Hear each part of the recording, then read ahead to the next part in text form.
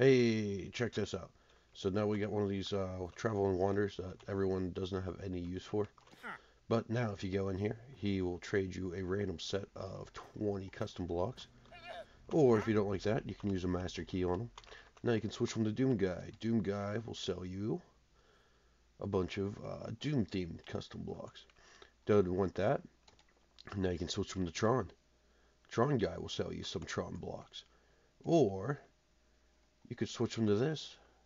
Then you can buy some food.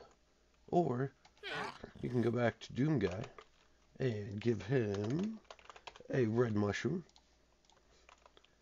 Then he turns into Mario. And now Mario, oh, damn it. go back to Mario.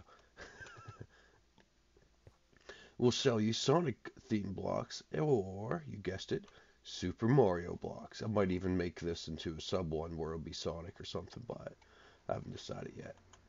Pretty dope. Then you can switch them back to here, and then you can just go into this endless loop of different vendors, as long as you got the master key on you.